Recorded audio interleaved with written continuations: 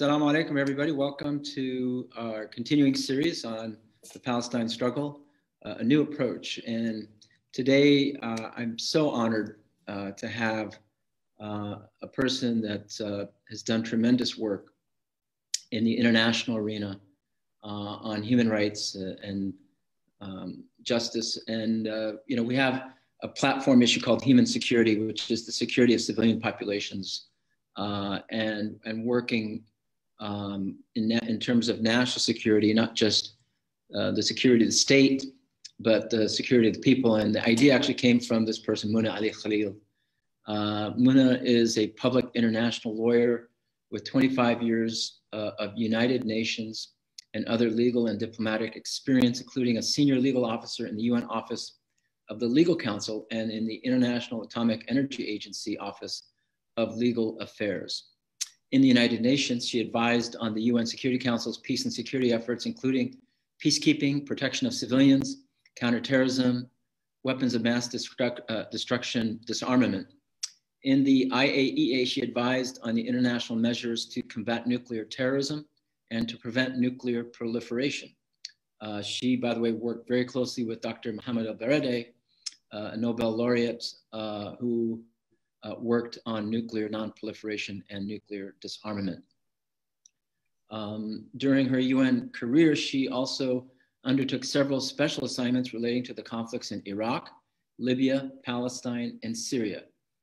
As founder and director of MAK Law International, a strategic consulting service, she continues to serve We the Peoples, advising governments and intergovernmental organizations on the principles and policies that govern their rights and responsibilities under international law. She has a BA in government and an MA uh, in Mass Middle East Studies from Harvard University. She also holds an MS, Master's in Science in Foreign Service, and a Juris Doctorate from Georgetown University. She is an affiliate of the Harvard Law School program on international law and armed conflict and a non-resident fellow of the UN Institute for Disarmament Research. She has published several works on international law and diplomacy and lectures regularly at the Vienna Diplomatic Academy. And she, by the way, Mona Ali Khalil, is calling in, zooming in from Vienna, where it is 1 a.m. Uh, at this time. So we really appreciate the time that you're, you're taking for this uh, and uh, sacrifice uh, uh, for uh, joining us. And we're so honored to have you, Mona. So with that, uh, I'd like you to start your presentation. Thank you, Salam. It really is my honor to be uh, hosted by you and by MPAC, the important work that you do educating your fellow Americans on causes uh, dear to the heart of many Americans and many Arab Americans and Muslim Americans and non-Arab Americans and non-Muslim Americans. We are all, at the end of the day, fellow human beings and members of the same human family. Um, and your work to remind people of those fundamentals is, is essential um, for the not just the democracy, but the security of, of the United States of America. Um, I'm, I'm humbled um, to be asked to come here given the other members of the uh, series that you have invited. I'm honored, of course. Um, I'm worried a little bit about coming off as a dry lawyer, but in order to do justice to the, to the cause and to ensure that uh, the credibility and the uh, and the equality of the presentation, the objectivity of the presentation, by definition, I have to try to be as clear and dry and factual as possible. So to avoid giving that ultimate impression, I thought I would start with a poem that I wrote um, on the eve of the submission of the uh, membership application by the Palestinian Authority to the Security Council knowing full well that this membership application had no chance of success in the Security Council, given the proclivities in particular of the United States, um, but also wondering why our uh, uh, distinguished leadership of the Palestinian Authority chose to seek membership before they sought recognition of their statehood, in a sense, making it inevitable that there would be a rejection of the application and that the human rights struggle of the Palestinian people was never about membership in the UN, but rather about recognition of their right to self-determination, a fundamentally inalienable legal right of the people of Palestine, as well as the right of the other community members of the international uh, membership of the UN to recognize our statehood, not necessarily our membership. Um, so kind of as a lawyer, as an international civil servant in the UN at the time, as a Arab national and a Muslim of Palestinian origin, um, these you know turmoils within me uh, were found expression in, in this poem that I'm happy to share with you. It's very short, don't worry. Um, as a lawyer, I'm not that particularly creative or poetic, but it seems to be my expression of what those legal rights are in, in that moment of, of, I would say, despair, for lack of a better word. Um, so it's titled I Am Palestine, and here, here goes. Too many lovers of my land, each drawing lines, drawing blood in the sand. I was not spared Solomon's solution, partitioned by a UN resolution. Coveted by those who deny me, occupied with my rights denied me. Unfulfilled promises for the promised land, unholy violence in the Holy Land. Jerusalem crowns my inspiration, the capital of my aspiring nation. Divided in two and shared by three, my city, like my people, longs to be free. I gave up most of me for peace, and yet my occupation does not cease, wanting what's left of me to be my own, hoping that my identity will be known. Can I not demand justice for my historical claim without it being a zero sum game? Can I not exact recognition of the cost that I was made to pay for Europe's Holocaust? Let me fly my flag with yours. Let my rights be alienable no more. Welcome me not as a guest in my own home, and liberate my star, my cross, and my dome. Let me sing my name out loud. Let my people dare to be proud Embrace me as I have embraced thee, and then maybe we will both be free. So, with that introduction, that uh, that I mean, can you please send it? I'd like to post it on. Mm-hmm. Uh, and look, people are applauding uh, uh in, in, in, on the Zoom, so you, mm. it, it, it deserves a standing ovation if we were in a room right now. Uh, could you please send it? We'd love to uh, post it on our website and where you know where we're going to broadcast the lecture series. I will, I will do that afterwards. Um, and uh, please don't forget that that was the inspiring part of the discussion because from here on in, it might get a little drier with the legal stuff. Well, we need, um, we need both. We need the inspiration and then we need the knowledge. And I know you're going to drop a lot of important knowledge for us today. Thanks, Salam. So go right ahead. Um, any, any true UN civil servant cannot begin any discussion without first referring to Dag Hammarskjöld, and then referring to the UN Charter. So without further ado, I begin with a reference to our premier or quintessential Secretary General of the UN, Dag Hammarskjöld, who once said that the UN was not created to take mankind to heaven, but rather to save it from hell.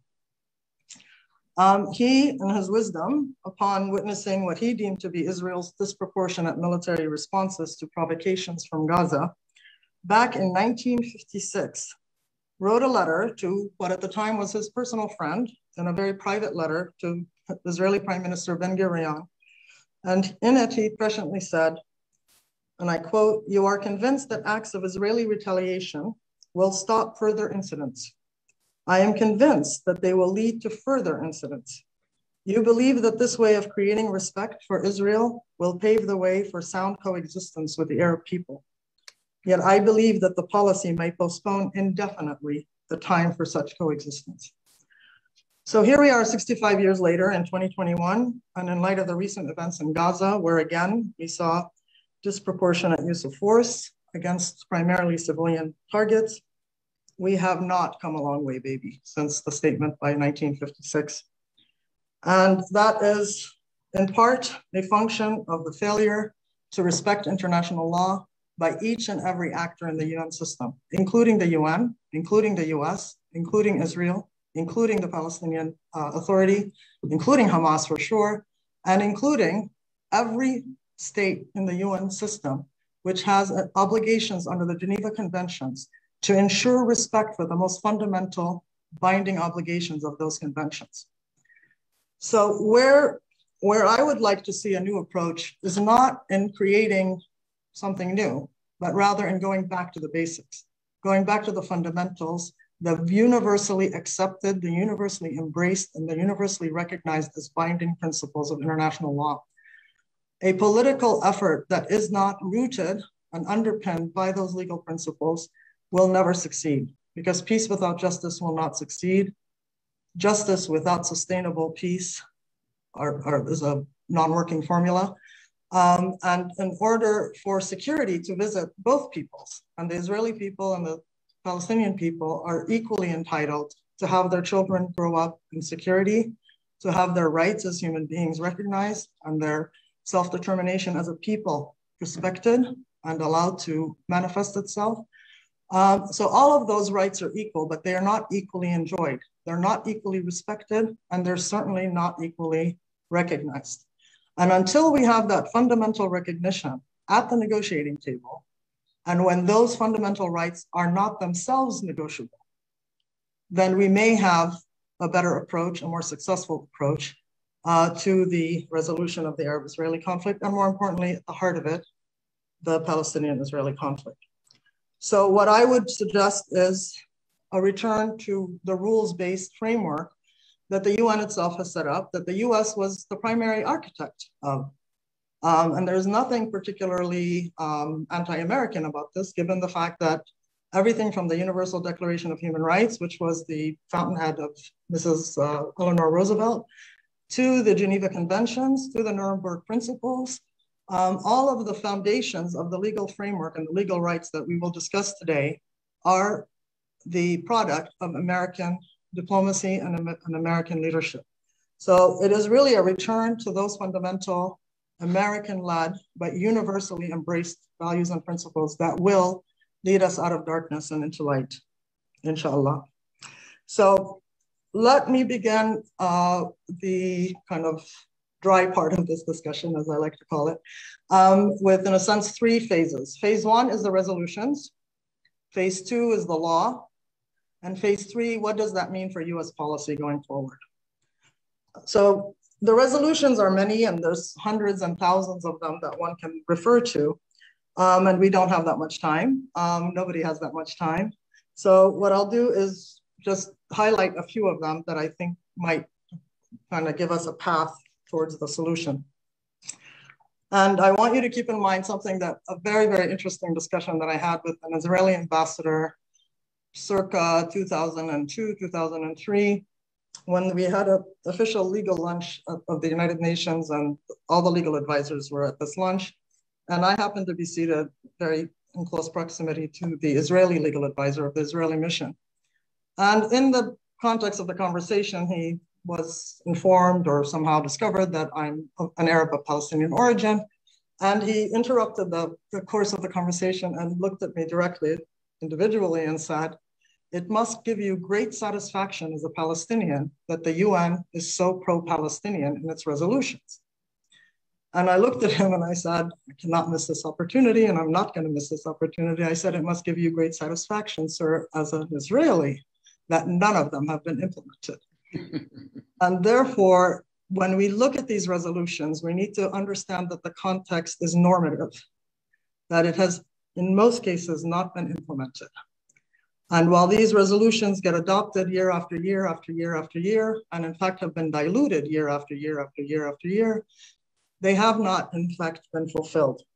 Um, and this begins with the first resolution in 1946, sorry, 47, which partitioned the British mandate known as Palestine into an Arab state, a Jewish state, and a special regime for, uh, for Jerusalem. Now, as, as history has documented, the allocation of land was disproportionate in every sense of the word, whether demographically or economically or based on property rights or based on even uh, uh, the, the self-determining rights of the Jewish Palestinians who were in the land. And people fail to remember that there were Jewish Palestinians and remained uh, in, the, in the equation at the time. Uh, we then went to, of course, the establishment of the State of Israel, the, uh, the uh, uh, membership of the State of Israel in the UN. We have the UN resolutions that begin to sort of correct the historical injustice, not so much of the creation of the Israel, but the manner in which it was created. That it was at the, at the expense of the Arab state, at the expense of the Palestinian population, at the expense of the Palestinian right to self-determination, and that this is the enduring debt of the United Nations owed to the Palestinian people. And that is part of its um, uh, enduring kind of uh, successive return to this issue because it is a failure, a fundamental failure that one part of that vision materialized and the other hasn't. Um, and again, the failure is multiple parties are responsible for that, but nonetheless, we have a manifest failure and a manifest injustice as a result. In 1956, we saw something that we never saw again, the United States stepping in to actually uphold international law.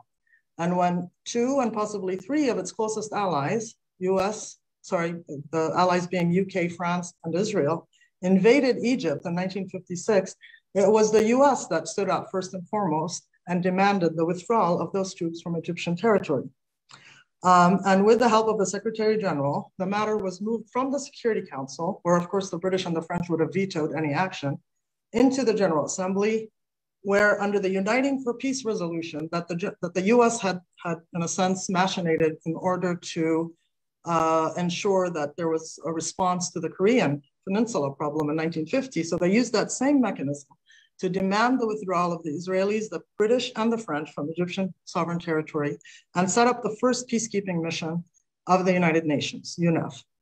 Now, many would attribute peacekeeping to the Security Council, but it was in fact the General Assembly, on the recommendation of the then Dag Hammarskjöld uh, report, that this mission was established.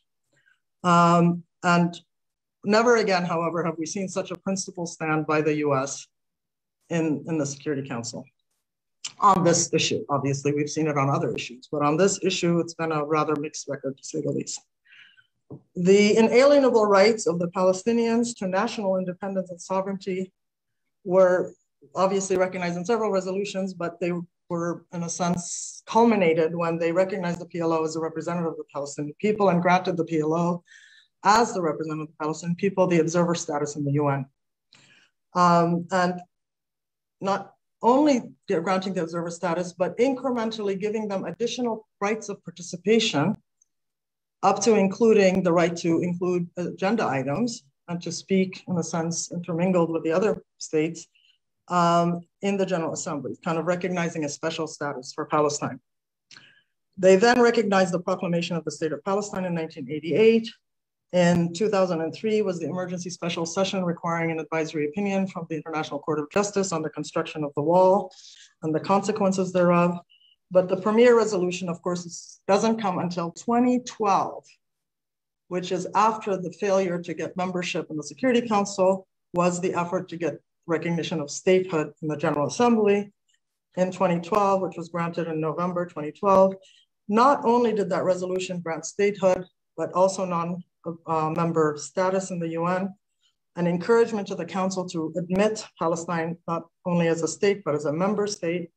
And it reframed the entire legal framework applicable to the Israeli Palestinian conflict, which is the will of the international community, embodying the legal framework consisting of the independent, sovereign, democratic state of Palestine living side by side in peace and security with the state of Israel, in the pre-67 borders. As late as 2012, that was still the demand of the General Assembly, um, based on multiple principles, including the ones from the law, but also the Middle East peace processes, the Land for Peace formula, the Arab Peace Initiative, and the uh, as the path to a just, lasting, and comprehensive peace, and named then the five issues: refugees, Jerusalem, settlements, borders, security, and water. Now, three of those should not be negotiable because they're fundamental inalienable rights. When we talk about the right of return of refugees, that's an inalienable right. It's not negotiable. So for the UN to render that negotiable is not really a favor to the Palestinians. It's actually possibly a detriment to the Palestinians. The status of Jerusalem, where the illegal acquisition of territory by the use of force, the sui generis special status of Jerusalem, the grave violations that the settlements constitute on the Geneva Conventions have become negotiable. So again, the, what seems to be pro-Palestinian resolutions are not exactly necessarily consistent with the binding principles of international law. Take UNRWA, for instance. Everybody sees that as a big benefacting you know, uh, uh, contribution to the Palestinian people and their well-being. But it's actually the obligation of the occupying power that UNRWA is now performing. It's money, effort, energy, uh, medicine, food, education, clothing that Israel, as the occupying power, should be delivering to the occupant population.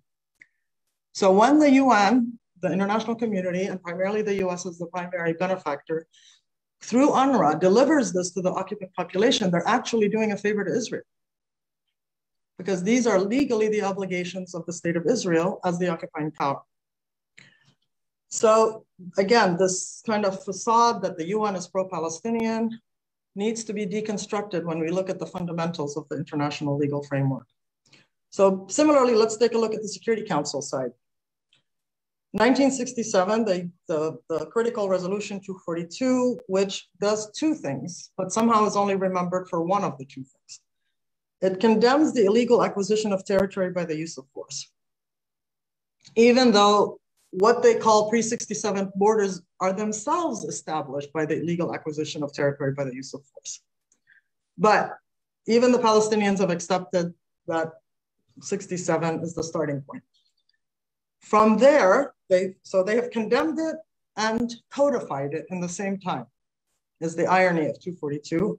But then using the land for peace formula, they call for a resolution of the Arab-Israeli conflict based on those 67 borders. We've certainly moved even further than the 67 border um, and talking about land swaps and so, so on and so forth. This land for peace you know, continues to permeate while the moving target of what is demanded of the Palestinian side has also shifted.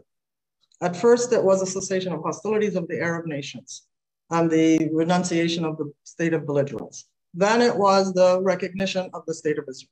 Then it was the recognition of the right of the state of Israel to exist. Then it's the right of the uh, state of Israel to exist as a Jewish state. So it's this kind of moving target so that it becomes ever more difficult. So at each stage, when the Palestinian side capitulates and or concedes, they're asked, it's not enough, they have to, to go one step further, one step further. So none of this is based in law. All that is required is the recognition of the state and the establishment, and that's a political choice, whether or not to have diplomatic relations.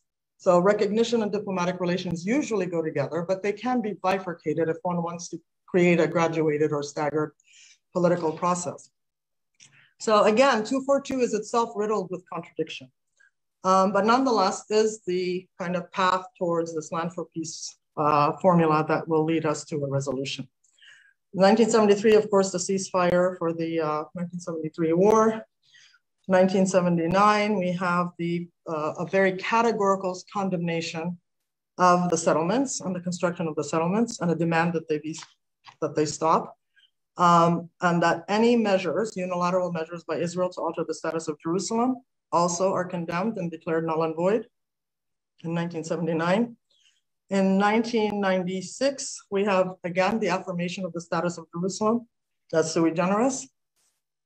We have the first recognition of the two-state solution in 2002, and we have yet another call for the end of the construction of settlements in 2016. The mere fact that these resolutions have been adopted by the Security Council means these are resolutions that have the support of the US. Because had they been vetoed, of course, they would not be adopted and they would not exist as resolutions of the council. So all of these that I've just mentioned have the support of the US, either by abstaining or by voting affirmatively to uphold them. So the resolutions make it clear the occupation has to end, the settlements have to stop, the wall has to be dismantled, the status of Jerusalem has to be respected as sui generis and subject to international uh, uh, uh, special status, and that the right of return is inalienable and that there should be a peaceful settlement of the, of the, uh, of the conflict. Of course, again, you know, words on paper, nothing happening in reality. So what does the broader legal framework tell us? The broader legal framework, starting with the charter, recognizes the right of self-determination, not just as any old right, but as one of the four fundamental purposes of the organization. Maintain international peace and security, resolve conflicts by peaceful means in conformity with justice and international law, develop friendly relations on the basis of the principle of equal rights and self-determination of peoples. It's right there in the second purpose of the four purposes of the UN. Enshrined as you know, the pr premier goal of the organization, not just the guiding principle, but the goal of the organization. Having said that, obviously, just because there's law doesn't mean there's respect for the law. And that's a case that most countries, most histories, most peoples have suffered through. There's nothing unique about the struggle of the Palestinian people from that perspective. What is unique is the long-standing successive rounds, um, uh, despite the you know the flurry of activity and the flurry of peace processes and flurry of uh, commitment statements and pronouncements, that there has been so little progress and, and um, despite all of this so-called effort. And again, as I've stated at the outset, part of that is because the further away we get from the law, the further away we get from the actual possibility of resolving the conflict. All we have is uh, a deferment of the inevitable, which is the encroaching colonization and settlement and threatened annexation of the uh, of whatever is left of the Palestinian territory. But even then, it's not even about the territory. It comes back and it has to come back to the fundamental human rights of the individual person as well as as a people, the right of the people of Palestine to self-determination, the same way the right of the Israeli people to their own self-determination which has been fulfilled and is manifested on a daily basis and, and good and bad. Um, so what are these manifest violations of international humanitarian law? The occupation itself, and mind you, Israel has not only occupied Palestinian territory, it has occupied Egyptian territory, Jordanian territory, Lebanese territory, Palestinian territory, and Syrian territory, and continues to occupy uh, Palestinian and Syrian territory to this day. The settlements are themselves a great violation of international law, a war crime. The war crimes committed every time that there's an offensive in uh, Gaza that is disproportionate, indiscriminate, uh, targeting civilian uh, buildings and, infrastructure, uh, whenever there's displacement or deportation of, of uh, individuals, the arbitrary arrests and detentions, the use of torture and the detention of children, all of these are violations of international law as well as uh, both humanitarian law and, uh, and human rights law. Now, of course, Israel has the right of self-defense. There's nothing controversial about that or, or doubtful about that, or one can categorically state Israel has the right of self-defense, as does every individual, as does every people, as does every state. It's an inherent right. But just because they have the right of self-defense doesn't mean that that right is unchecked or unlimited. It has rules, just like any other use of force has rules. It has to be against a objectively determined threat. It has to be a last resort, that there's no other way to remove that threat. There has to be proportionality. There has to be a effort to uh, eliminate and or at least mitigate or um, uh, mitigate against any civilian casualties and collateral civilian damage. So all of these rules apply. So it's not enough to say I have a right to self-defense. Yes, of course you have a right to self-defense. Um, it's the equivalent of when a terrorist says, I have a just cause. That doesn't mean you can use any means to fulfill and live up and try to uh, manifest and, and give reality to your cause. Of course, there's rules that apply. There's ethical rules, moral rules, legal rules, religious rules, all of the above apply as they do to self-defense. Um, so both sides really need to be harnessed. Those who argue that no use of force um, uh, is justified by an occupant population, even against military targets, is equally objectionable, offensive, and immoral as to say that in the struggle for national liberation, we have the right to kill civilians. I find both of those statements as a lawyer, as a moral human being, equally objectionable. Because under international humanitarian law, there is a right to resist colonization and occupation, foreign occupation. That is a right that is recognized by international law. But like self-defense, it has to be executed and performed in accordance with the fundamental principles of, of the use of force, the, the distinction between combatants and civilians, the proportionality, so on and so forth. So both sides need a reality check as to what can and can be done in the name of self-defense and or in the name of a just cause.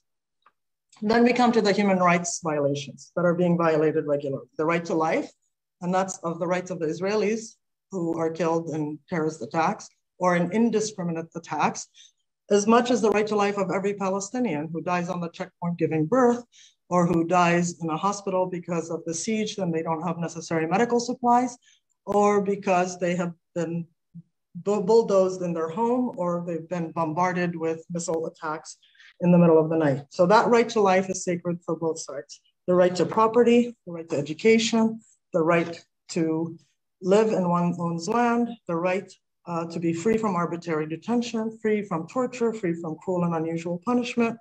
All of these, I mean, I, one can do a laundry list, but once again, time is limited.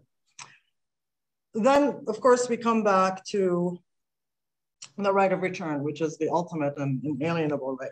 Now, legally speaking, that should be the end of the story, but the Palestinians themselves have been willing to put this on the negotiating table.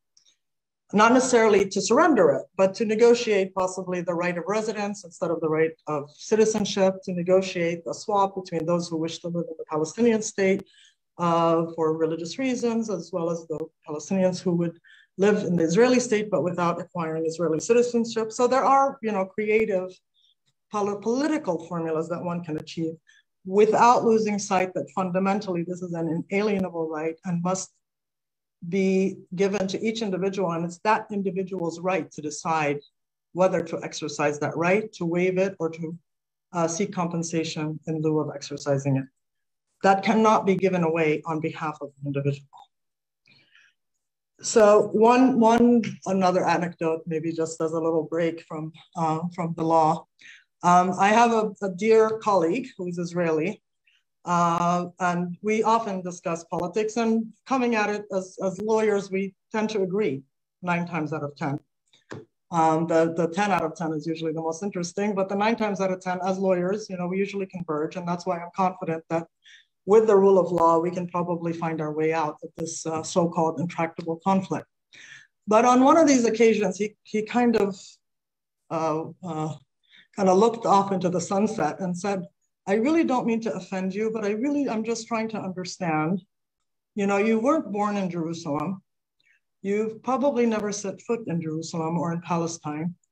Why do you consider yourself Palestinian? I said, I said, you don't have to ask me that. You ask yourself that.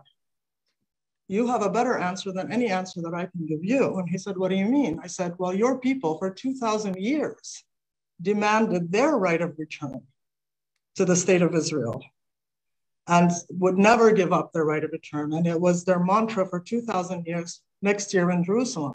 So you couldn't give up your right after 2,000 years, and you're asking us to give up our right, and, it, and it's within the same century. So ask yourself what made you demand and insist on your right of return, and then you'll understand why we demand and insist on ours. It's very basic. If you understand yourself, then you should understand our own struggle. And that seemed to somehow get through to him. Um, uh, I, I hope it certainly ended the conversation right then and there, but uh, something to think about. Now, um, I think we have maybe 10 minutes left in terms of the legal portion. Um, and then we need to get to the, uh, to the US policy. Um, just before we end the legal portion, I want to recall that this doesn't have to be hypothetical. The ICJ, the International Court of Justice, and the International Criminal Court have both pronounced themselves um, to a certain degree on these subjects. There's an advisory opinion in 2003, 2004 by the International Court of Justice. Now, to say that it's an advisory opinion is factual because it was an advisory opinion requested by the General Assembly. But to the extent that the opinion itself contains references to binding customary international law and binding erga omnes obligations, those elements of the opinion must be regarded as binding, even though they're in a vehicle that is advisory. Um, and, and the, the salient conclusions and uh, uh, observations of the court are as follows. Upholding that there shall be no territorial acquisition by the use of force, that Israel has the obligation to respect the right of the Palestinian people to self-determination and all of its obligations in international humanitarian law and human rights law, that it has an obligation to put an end to its wrongful actions, including the dismantlement of the construction and, and the end of the construction of any part of the wall, uh, repealing any and all legislation relating to it, uh, confirming Israel's obligation to make reparations for the losses, damages of all natural and legal persons, including destruction of homes, businesses, livelihoods, and ag agricultural holdings. On the uh, unexpected side of the ruling is the court's reminder to all states parties to the Geneva Conventions uh, that they have an obligation to recognize violations as violations, to seek to bring an end and ensure respect the, uh, for the law and end to those violations, and not to contribute in any way, aiding or assisting in the commission and or continuation of those violations. And this has to be borne in mind when we talk about not just US policy, but about any country's policy, including the Arab states, the Gulf states, the EU as a regional organization, the African Union, the League of Arab States. These, whether it's a state or a group of states, they have these obligations under the Geneva Conventions. So recognize a violation, ensure respect for the law by ending the violation, and making sure that you do not in some way contribute, aid, abet, or in otherwise be complicit in the commission or continuation of the violation. So we need to come back to that in light of what the ICC is investigating. Well, the ICC has not, of course, uh, proceeded to trial on any of this. They're merely investigating um, commission of crimes, not just by Israel, but also by Hamas. In Gaza, they have investigated alleged crimes by the IDF, including the disproportionate attacks, indiscriminate attacks, attacks on civilian uh, uh, densely populated areas, residential buildings, and other infrastructure, attacks on UN facilities, hospitals, paramedics, and ambulances, widespread destruction of civilian destruction of civilian buildings and infrastructure, and the disproportionate loss of civilian life. Against the uh, uh, Palestinian armed groups, they are investigating indiscriminate use of force, launching of attacks from civilian areas, and summary execution of collaborators. In the West Bank and East Jerusalem, they are investigating, and it's fair to say that these things have been committed. The planning, construction, development, and consolidation of settlements as a great violation of the Geneva Conventions, the confiscation and appropriation of land, demolitions of Palestinian property and homes, and the eviction of residents, the destruction of Palestinian-owned property and structures in the West Bank, including East Jerusalem, the displacement of people, the deportation of persons, the acts of violence by settlers against Palestinian communities, the ill treatment of the detainees, the arbitrary detentions, the detention and uh, systemic institutionalized ill treatment of children, um, and uh, there is also a, of course, new round going to be uh, uh, culminating as a result of the recent events. Um, the portfolio would, would of the of the prosecutor. Now it's a new prosecutor. Whether they continue in the same vein as the prior prosecutor remains to be seen. So what does this all mean in the remaining five minutes for the US? So first and foremost, of course, there's US policy and there's US law. Supreme Court has held that international law is part of the supreme law of the land. The US policy and the law recognize settlements, let's take just settlements alone, as being illegal, as being a grave violation of international law. So from the point of view of the settlements, what can the US do, even in the absence of agreement between the parties, even in the absence of uh, success in the peace process, Certainly, you shouldn't allow your citizens to live in settlements. Certainly, you shouldn't allow your citizens to donate and make contributions to the construction of settlements or to the maintenance and sustenance of settlements. Those are certainly things that are within the US jurisdiction if they want to be a responsible actor towards peace and justice. Certainly, they should condition their support to the Palestinian Authority similarly to respect for human rights, you know, allegations of uh, uh, arbitrary detention and torture are also being lodged against the, uh, the Palestinian Authority. Those need to be investigated as well and should, and the support of the US for the Palestinian Authority should be conditioned on those uh, investigations being carried out in an effective way and the responsible parties being held accountable. Other human rights violations equally should be part of that. Could be illegal detention, it could be postponement of elections, it could be uh, treatment and, and, some allegations of, uh, uh, killing of opposition figures, for instance. Um, the arms sales of the US clearly should be conditioned based on the use and compliance of the use of those weapons with uh, international humanitarian law. Um, and granted, we can say that these are merely allegations, but they should be investigated before sales are allowed to go through. And last but not least, the US use of the veto. It's a sovereign right of the United States to use its veto as it sees fit, but that right is not unconditional. As a state party to the Geneva Convention, as we said, they have obligations, erga omnes obligations, to ensure respect for international humanitarian law, to bring an end to violations of that law, and not to contribute.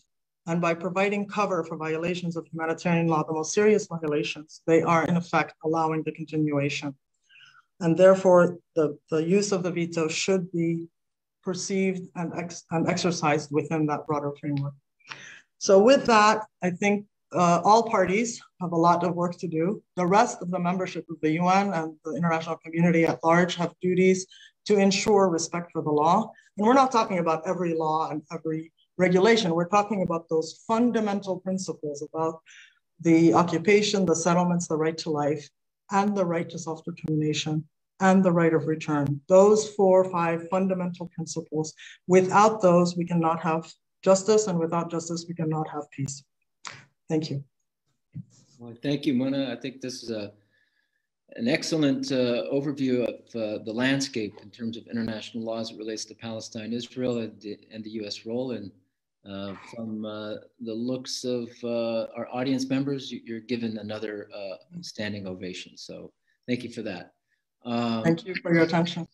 Yes, uh, there's a lot to cover. Uh, and we have a number of questions already from our guests, and I will get to them. I just wanted to dive a little more deeply into the issue of the international uh, courts or investigations. I don't know exactly where it emanates from. You could probably give us mm-hmm. a, a, better idea of how that works. Um, what, in fact, why don't we start with that? How does how does how, how do uh, investigations uh, in terms of international law, the international uh, criminal courts, how how do they originate, and how mm-hmm. how it, does it apply to the situation in the occupied territories? Um, well, there's several ways um, how this can happen. Um, uh, before there was an international criminal court, um, there were, uh, of course, you know, national prosecution is, is always a possibility. Some crimes, and many of the crimes committed by Israel are universal crimes, which can be tried in any court of law anywhere in the world. And there is precedent where uh, Belgian uh, law courts were seized, uh, especially during the days of Sharon uh, of war crime uh, uh, charges being lodged in Belgian courts. Um, and there's a long history of how those were somehow set aside. But universal jurisdiction is available and has been availed in other, in other contexts. Um, but the existence of international criminal courts uh, is, is a relatively new phenomenon. Um, it's a positive development, of course, in international law, uh, where first you had the International Criminal Tribunal, for instance, for the former Yugoslavia, you had one for Rwanda, you had one for Lebanon, you had one for Sierra Leone, uh, for Cambodia. So, and they're manifested differently. Some of them are hybrid with a national component and an international component. But the strictly speaking international ones were the ICTY for former Yugoslavia and the one for Rwanda. And those were established with uh, a Security Council resolution and a statute, kind of like a treaty, um, uh, for their for their establishment, similar to the statute that established the International Court of Justice, um, albeit that that's not a criminal court. Um, within the statute are the basis for jurisdiction. Um, so now we come to the International Criminal Court, which has seized jurisdiction of the situation in Palestine. Now, the Palestinian side has tried to get uh, the court to be seized on several occasions before they successfully did. Bef uh, by trying to become a party, trying to make a declaration of acceptance of jurisdiction. But the court hesitated um, because this question of the statehood of Palestine was uh, rather fluid legally because it's fundamentally a, legal question, but there are obviously political underpinnings to it. But that hurdle was removed when the General Assembly recognized the statehood of Palestine, even though as a non-member state of the UN, non-member observer state of the UN in 2012. And at that point, the International Criminal Court could accept the instrument of accession of the Palestinian state as a state to become a party. Um, so to the extent that Palestine became a party, clearly jurisdiction attaches. Um, and the Palestinians themselves requested the, you know, the prosecutor to carry out the investigation. Now, this is a double-edged sword, of course, because in so doing, they're not only opening up investigation of the Israeli side, they are, whether they like it or not, opening up investigation of their own actions. And certainly of Hamas's actions. Of course, the PA would be more than happy for Hamas to be held accountable, as they should be held accountable for their own war crimes and uh, illegal uses of force. But the but but in theory, the Palestinian Authority itself, their actions would be and should be also under examination um, to the extent that they rise to the level of a crime under the statute. Uh, so this is sort of the evolution of where we got to, to the current investigation. Um, the, the jurisdiction has been recently confirmed. Um, it was uh, uh, determined by the prosecutor and submitted by the prosecutor to the, the panel of judges, which confirmed the assessment that there is jurisdiction. So now the investigation will proceed. As I stated earlier, there is a new prosecutor and it's not clear whether the, the intentions of the current prosecutor to dedicate resources uh, to carry that investigation forward is as firm as the, as the conviction of the prior prosecutor. That remains to be seen. And, and to be clear, all parties uh, are subject to examination, as you said. So that includes the State of Israel, the Palestinian Authority, Hamas. On the State of Israel, uh, the, the, if it has crossed the line in terms of its claims for right uh, of self-defense, and mm-hmm. from the Hamas side and, and PA theoretically, uh, its uh, right uh, uh, of resistance if it has crossed the lines in terms of limits on that as well. Well, Israel has objected to the fact that it itself is not a party to the ICC statute. However, to the extent that it's committing acts within territory recognized by the court and by the international community at large as occupied territory, not Israeli territory, um, they would be um, subject to the jurisdiction of the court. They reject that, of course, um, on, the, on the basis that they themselves are not a party. Um, uh, the, uh, the question of Israel's status is itself interesting. Um, I don't know if, how much interest there is, but it may be worth mentioning. Mm-hmm. On the eve of the closing of the signature of the Rome Statute, which established the International Criminal Court, both the US and Israel signed the statute. So they are signatories to the statute. This was done under the administration of, of Bill Clinton. Soon after, the administration of George W. Bush came into uh, office and they renounced that signature indicating that they have no intention of ever ratifying or becoming a party to the statute, which is the only way to basically unsign. So most of the human rights, you know, commentators said, "Oh, you know, Bush is get, committing yet another Ill illegal act. You cannot unsign a treaty." But in fact, under treaty law, you you can't unsign it, but you can effectively unsign it by declaring that you will never become a party. Israel has never done that. Israel has not renounced its signature and it has not indicated that it has no intention of ratifying. So technically, it remains a, a signatory, um, even though it is not a party. And as a signatory, it has one good faith duty under international law, which is not to defeat the object and purpose of, of the statute. And whether its actions amount to defeating the purpose of the statute or not is for somebody else to judge. But that is a, a, an obligation of all signatories. Thank you. Uh, and to our guests, go ahead and start uh, typing your questions into the chat box and we'll ask our uh, our guest, uh, our expert uh, on on the matter, and there's there's a lot of expertise uh, on this issue for sure. Um, I, I, wanted to ask you then about U.S. culpability because it is financing and providing military aid and providing political protection uh, for uh, the occupation. Uh, and, and, you know, a number of Americans uh, end up in the settlements.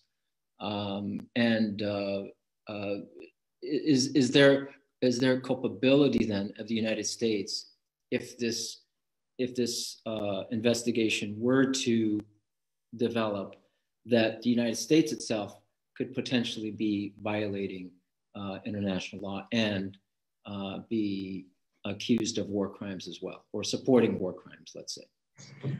Uh, I mean, that certainly is an allegation that one can make. Um, it would require a, a, court to, to reach a verdict on that question, um, whether it's a national court or otherwise. And, and questions of international law, including international criminal law, are best answered in the first instance by the national jurisdiction. Um, even the International Criminal Court recognizes the principle of complementarity, that when the state itself is willing to effectively and meaningfully uh, litigate and, and prosecute the, allegate, the alleged crimes, there is no need for the International Criminal Court to, um, to investigate these things. So even Israel, if it were willing to meaningfully and effectively prosecute the alleged crimes, investigate and prosecute, there would be no need for the jurisdiction of the ICC. But here we're not talking about the commission of crimes. At best, we're talking about, as you said, you know, contribution to the commission of crimes, um, and or possibly acts of omission, uh, in the sense that where they have leverage or influence, certainly nobody's going to argue that the U.S. is responsible for the Israeli uh, officials and or Israeli military leaders. But to the extent that they have contributed, and let's borrow a term from the US uh, counterterrorism regime, material support to those right. aiding, aiding and abetting. I was going to aiding and abetting right. and uh, providing aid and assistance, um, right. which is the official term of the uh, of the of the Geneva Conventions. There would be uh, certainly support for it would be an, allegate, an alleged crime, you could say. Um, in addition to the the sort of erga omnes one of not um, of not ensuring respect, which is probably hard to prosecute. But the, the, in the case of the US, you do have actual physical aiding and abetting going on that one could form an allegation, but it would be an allegation. It wouldn't be a conviction. There would need to be a, a, proper uh, court um, and due process and all of the rest of it before you could reach a verdict. And would somebody have to make uh, a, a case and then present it to the international court, or does the investigator, him, him or herself, whoever it is, the person, uh, the, the prosecutor, they come up uh, with the case? I mean, I don't think, uh, I'm not personally aware of any such allegation being made at the present moment or any such investigation being lodged or launched at the present moment.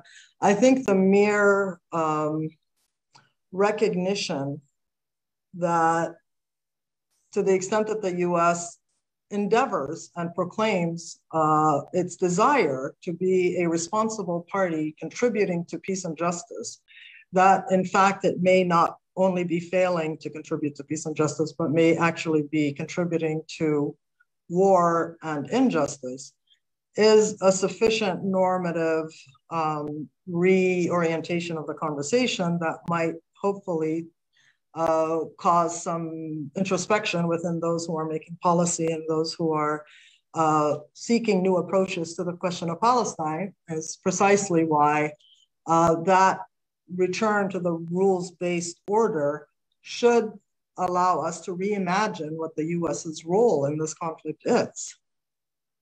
And, and in terms of US law, there's the Leahy Law and the US Arms Export Control Act that prevent the United States from sending weapons to any country that violates human rights uh, in using those weapons. In other words, they would use those weapons against civilian populations. So the US may, may, may be, in fact, violating its own law there, but there's no standing for anybody to make the case within the United States. I think it has to be members of Congress that actually have to uh, make that case in applying that law. Do, do you have any any uh, any uh, insight on on how that would uh, ever come to uh, to fruition? Well, it's kind of happening now. I think uh, McCollum herself, I think I'm, I'm not sure if I'm pronouncing the name correctly. Yeah. Uh, she has quite, if uh, I would say, categorically made that statement with no, without mincing words, that that is certainly something that needs to be looked at. Um, and again, we're dealing with allegations, and this is where the problem is. Until it's proven in a court of law, it remains an allegation. It could be a very credible allegation, one with plenty of probable cause and plenty of, of substantiating and circumstantial evidence. But until it's found to be the case in a court of law, it remains an allegation. Um, and, and part of the problem is precisely that, that there is no investigation. Forget about a prosecution, they don't even bother investigating. Um, and that is a failure of, of due process, if nothing else, not just for the sake of the victims, but for the sake of purporting to be a rules-based uh, society, a rules-based uh, nation, a rules-based, and, and when you seek to have others respect the law, you know, this becomes uh, a, a, devaluing or a, a, a kind of a, a, thorn in your uh, ability to represent yourself as a credible advocate for the rule of law when, when it can be shown. And, and there is, I would say, significance in demonstrating that, that contribution to the violation, that contribution to the continuation of violations, because it, it does matter to the US, both in terms of its uh, soft power, as they call it, as well as its credibility, as well as its own self perception as an agent of, of certain values. So I think there, that messaging will will have an impact, I believe. But maybe I'm naive and idealistic. Who knows? well, we should all, always be pursuing ideals, even if they're just ideas. It's important to at least have the idea out there. So mm-hmm. thank, thank you for your answers. Uh, uh, and we have a number of questions, uh, a lot of them from one person, uh, Carl Hofberg. Uh, I'll try to I'll try to cover as much as we can, Carl, in the time that we have. Uh, but the, his first question is, on what basis is the return of Palestinian refugees an inalienable right? No other refugees of war, such as Germans from Eastern Europe, Hindus from Pakistan, Muslims from India, Greeks from Turkey, etc., have ever had such a right. Uh, all refugees have that right. Um, it's not just the Palestinian refugees. Now, they happen to be a, a, significant proportion of the world population of refugees, but nonetheless, the right of return is an inalienable right as confirmed in the uh, Refugee Convention, which itself has reached the status of customary law, as well as successive General Assembly and Security Council resolutions. So, um, but again, it's a right that belongs to all refugees. And most refugees uh, uh, uh want to return, but you don't have to return. It's just that you have the right of return. Um, and whether you exercise that right uh, is, is a, a, personal choice that can be made and compensation can be given. Now, there's also the flip side of that. Many Israelis argue that those who were forced to flee Arab nations, interestingly, not after the 47 48 period, but after the 67 period, many Arab states did in fact uh, uh, force the, the uh, Jewish populations to, to leave, or they felt sufficiently under threat or sufficiently persecuted to leave, they are refugees also. Um, and, uh, and it's perfectly fair that they claim their right of return.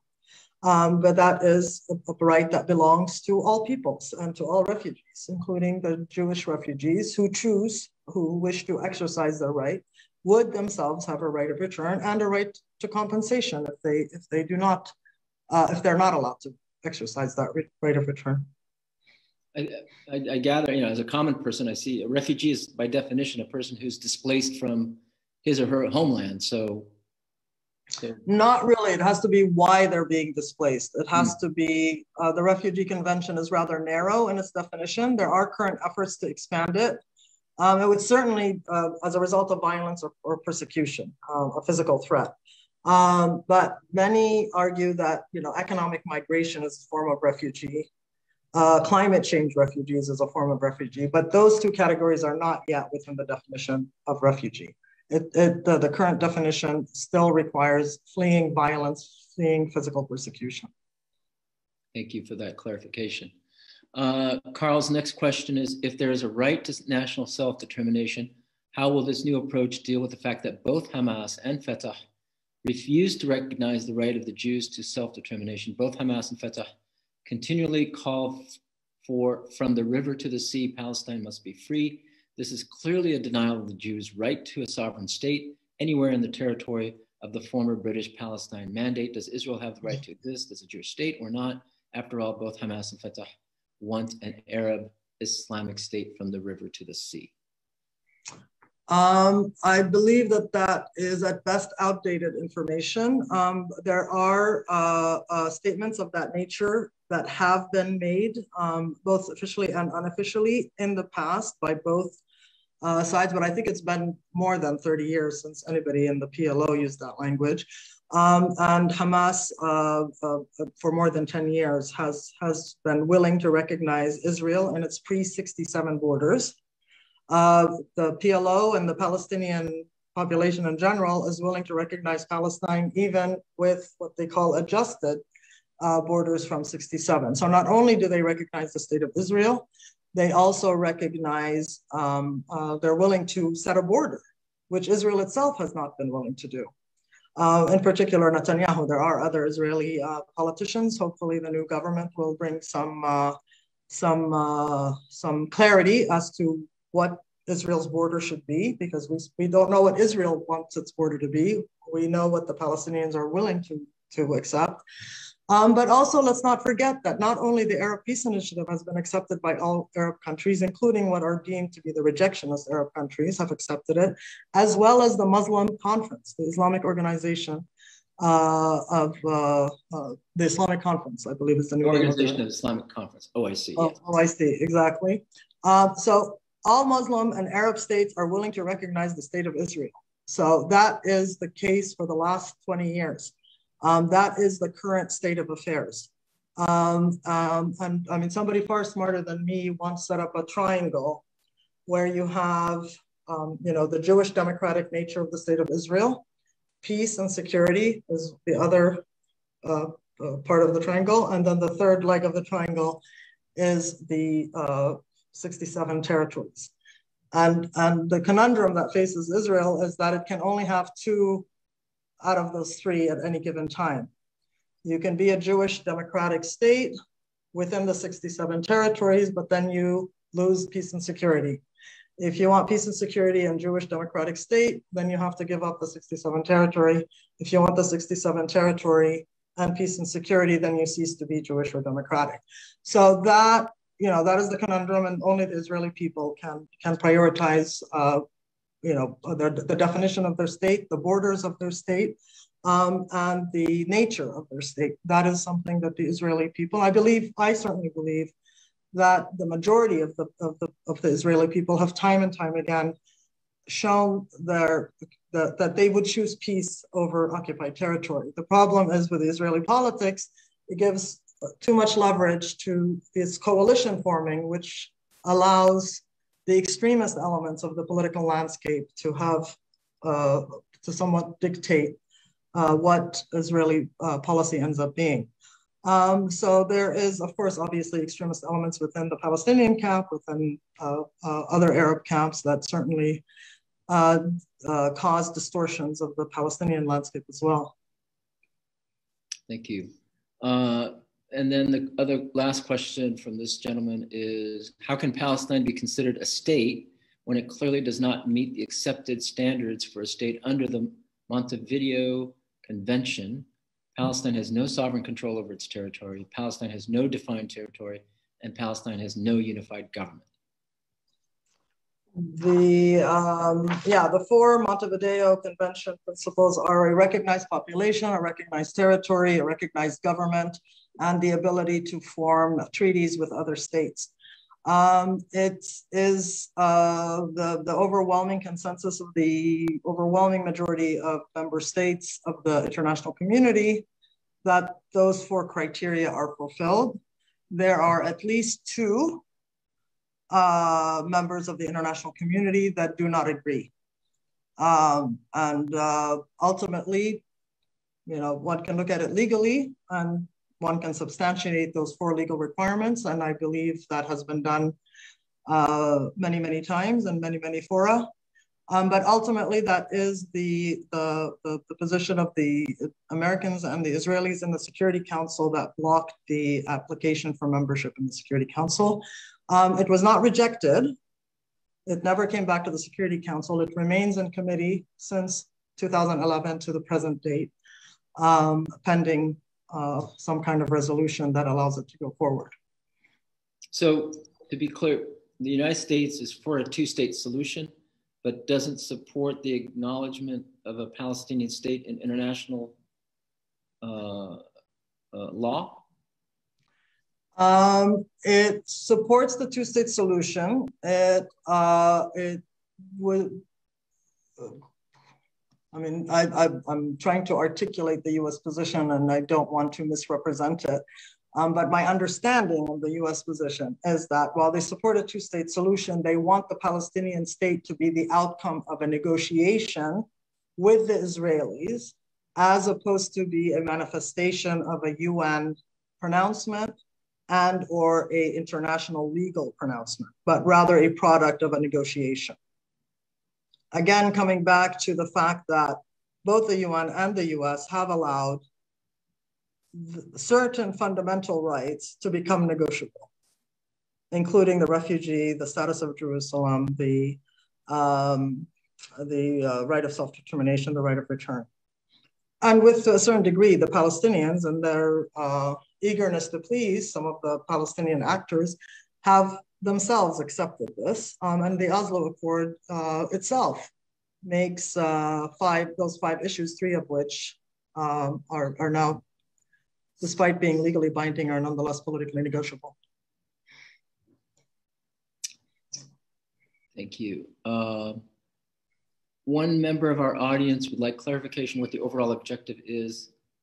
Uh, uh, for example, in one conversation online, they're mentioning how Israel should no longer exist uh, and is asking if the Palestinian struggle uh, attempting to eradicate the existence of Israel?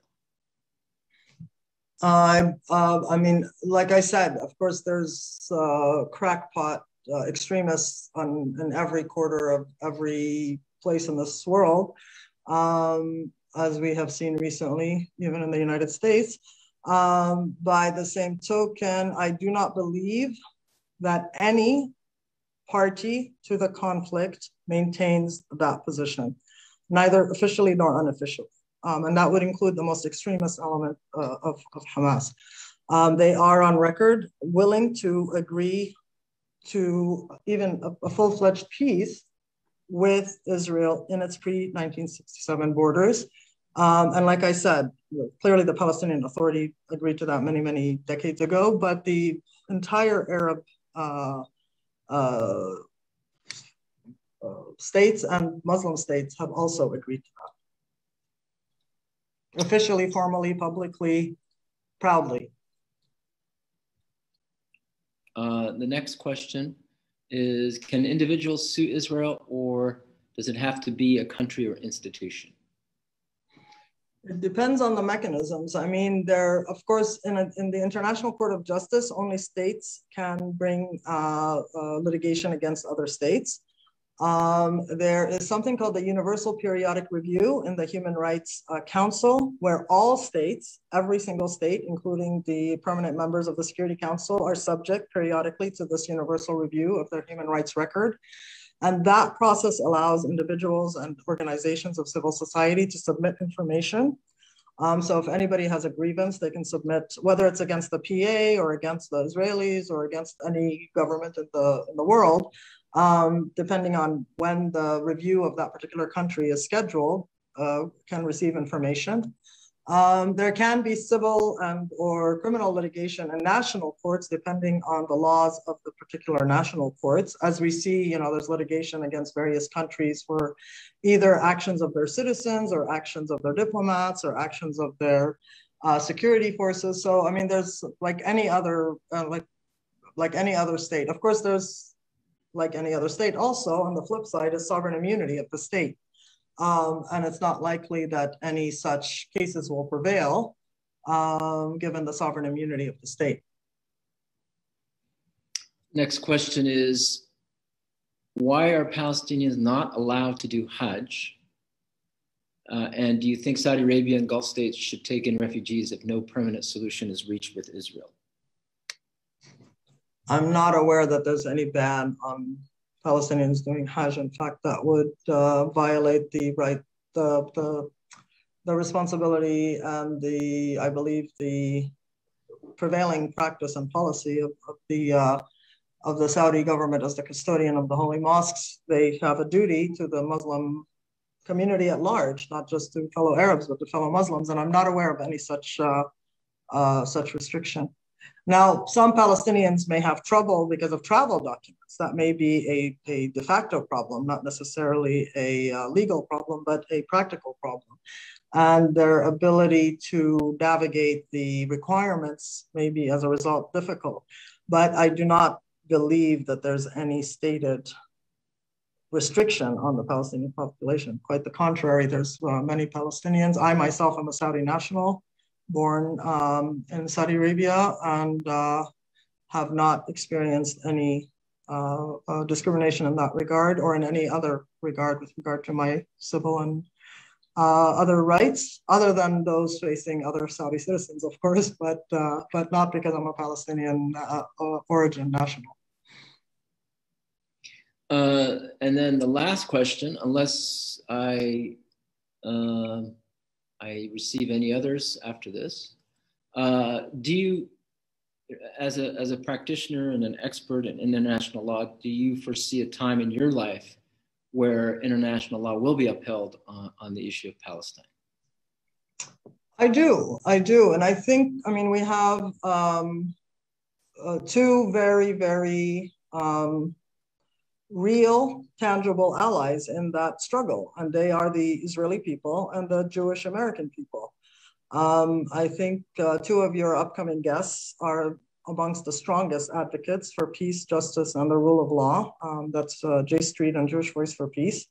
Um, have been very effective in opening up the space for this dialogue within the uh, American discourse um, and have given cover to you know uh, senators and congressmen and women with conscience um, uh, to, to have those discussions and to make those uh, uh observations in a, in a free and, uh, uh, I would say, clear manner. Um, I think the other is that their Israeli journalists have been braver than, than, than most in drawing attention to the crimes of the Israeli war machine um, they, uh, the human rights activists um, uh, uh, amongst the, the, Israeli human rights groups are on the front lines of, of the struggle. Uh, the refuseniks are brave soldiers who refuse to uh, uh, render service to an occupation and to the protection of illegal settlements and to illegal acts by settlers. So, I mean, the, the, the, the, the shared interest and a peaceful coexistence where the Israeli children and the Palestinian children can grow in peace, where Israeli parents and Palestinian parents can uh, dream of a better life for their children is shared. And there was a time um, in my lifetime when it wasn't Arab versus Israeli or Palestinian versus Israeli, but those of us who were pro peace and pro justice, and those who weren't. And I, I uh, and all it takes is a switch of leadership you know, when we pick our leaders, we have to be careful to pick leaders that represent our hopes and our dreams and not necessarily our hates and our fears. Um, and when we do that, there's always hope. Excellent. Um, the uh, other question about certain Jewish groups and Israeli groups, Israeli uh, human rights group, B'Tselem, uh, has declared that what's happening against Palestinians is apartheid. Um, Human Rights Watch has done the same. Um, does that have any bearing in terms of uh, prosecutions of, of, war crimes in international court?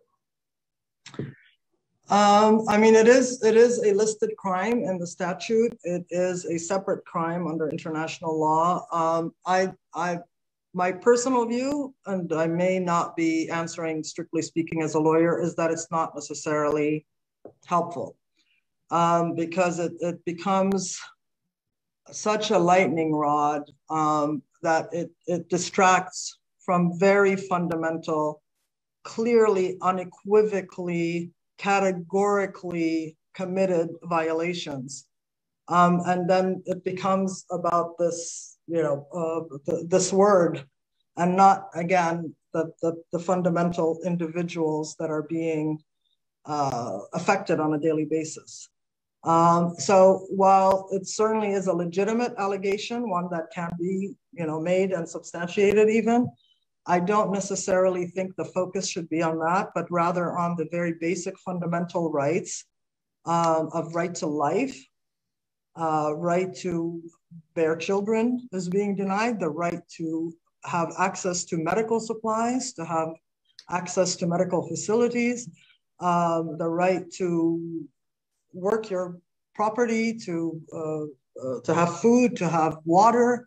I mean, those are rights and violations that need to be addressed um, and can be addressed with greater clarity, greater precision, and greater uh, substantiation than getting caught up in the in the bigger dilemma. Well, that is without prejudice to, of course, the existence of the crime, um, under law, but, uh, but just in terms of what it means for this particular conflict. Um, you mentioned Israelis and Jewish Americans. What about Christians? Uh, the Palestinian Christians uh, have, you know, their, their population has been decimated uh, to, I, I, believe, 10% or even lower than what it was pre 1967. Um, there are many churches uh, throughout the United States working uh, for Palestinian rights. Do you see them playing a role uh, like Jewish Americans are, are playing in, on this issue? Um, I mean, definitely. I mean, I think for for I mean, at least as far as the conversation we're having today about a new American approach, I think your average American would would be even the most well-intentioned one would be shell-shocked if you said Palestinian Christian or Palestinian Jew. I mean, that just would, you know, completely befuddle them. Um, they would even be confused at the concept of, an, of an Israeli Arab, um, of which there are, you know, uh, close to what is it, 20 to 25 percent of the population of Israel, um, uh, and of, of many of which are also Christian.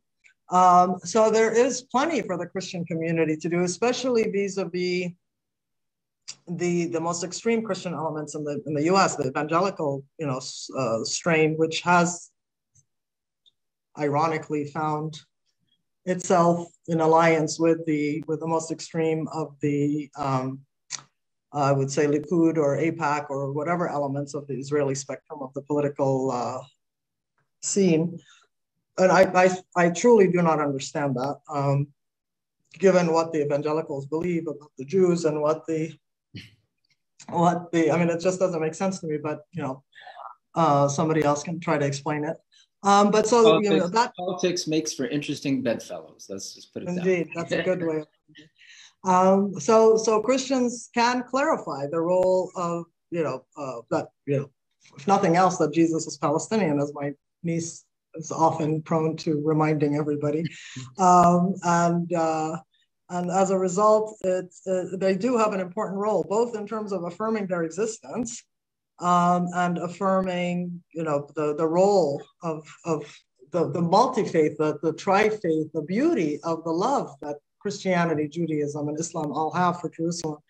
And I've always said that that should be the path to the solution and not the source of the problem. Um, and for many centuries, in fact, it was. You know, there was the one key that was held by, you know, on behalf of the three communities and uh, continues till this day to be the case. Um, so that is really the path, the path to the solution is that this shared love of the land and the shared love of Jerusalem in particular should not be um, uh, should not be dividing us, but should be uniting us. Well, Mona, uh, I want to, you know, on behalf of uh, everybody Uh, and just to read some of the comments, uh, thank you, amazing, knowledgeable, highly qualified speaker, uh, wonderful series uh, by Joan and Paul Waller.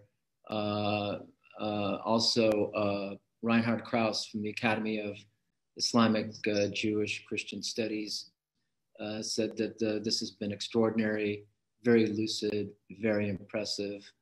Uh, uh, awesome Mona from Hadab uh, Tarifi, and thank you. and some, so many people saying thank you. I think this has been extraordinary, and we get to learn from you without having to pay tuition. Uh, so I, uh, you know, this is a, a, a double, uh, the pleasure, double the fun in this, um, um, in today's program. Um, thank you for this program and this series, Carl Selkin. Thank you, Mona Imad-ad-Dean Ahmad. He runs the Minaret Institute uh, in, uh, in, in Washington, D.C. Uh, thank you so much for this wonderful discussion. Uh, Rebecca Hosseini, hearts uh, all around. Uh, I can't say enough. I, I, learned a lot and definitely will will remain connected because we definitely need this kind of expertise this is what I mean by the new approach is when we're talking about justice, let it, it, it, justice applies to all parties and then let justice determine uh, how to um, come to a resolution rather than just saying it's my side against uh, everyone else. And as you said, playing on people's fears and prejudices uh, instead of playing, uh, instead of implementing our, um, our thirst for justice. So uh, that is so, so uh, important for all of us to hear today. And your expertise in terms of understanding landscape, uh, as Reinhard Krauss said, so lucid. So thank you very much for that. Thank you. I'm humbled and honored, and uh, and I wish you every every success in your very worthy endeavor to uh, bring to bring light and to bring knowledge and to bring understanding. You've definitely helped us in that mission. So, and and thank you. And we say inshallah, God willing, with, uh, with this work. Uh, I thank everybody for joining us. Uh, yes, let's all give uh, Mona a round of applause. We can see applause uh, throughout. Everybody's giving applause now. Uh, we have a standing ovation if we were in a room. Um, and so, uh, and inshallah, you know, someday we'll bring you to Los Angeles or Washington and have you speak in person for us. Uh, next, week, yes, uh, we look forward. Thank you, and we, and we look forward to to being with you. And I know it's what it's two. It's almost two thirty a.m. right now in Vienna. So uh, I hope you get some some rest after this and some some well deserved sleep uh, for your hard work and preparation for uh, our um, uh, our lecture series. Uh, next week we have uh, Professor David Myers who will give us the a short history of Zionism. Uh, and uh, the legacy of Rabbi Leonard Beerman. Rabbi Leonard Beerman was a great friend uh, of uh, the Islamic Center of Southern California, and he founded uh, Rabbis for Human Rights here in the US. And he had spoken uh, during Yom Kippur um, sermons about the war against Gaza. So we get to hear from David Myers, who's part of that Leonard Beerman Foundation, and get his perspective on the history of Zionism. After that, we'll have uh, Peter Beinart and uh, uh, Jeremy Ben-Ami uh, debate Jewish home versus a Jewish state. Then after that, Ken Roth uh, on apartheid and how to end apartheid uh, in Palestine. And after that, we will cover the nexus of Islamophobia and anti, anti-Palestine, anti-Palestinian rhetoric in the United States. So hope you continue joining us in this series. Uh, this has been quite an extraordinary lesson uh, on the Palestinian issue from so many different perspectives already. It's been amazing. So I thank all of you for joining us. Again, thank you, Mona. God bless you for all that you do. Thank you.